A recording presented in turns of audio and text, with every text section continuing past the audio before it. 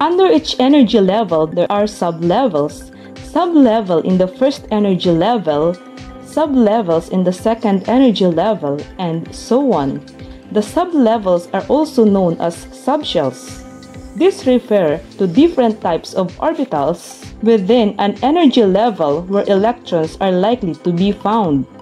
The sublevels or subshells are labeled with letters S, P, D, and F, and each has a distinct shape and orientation.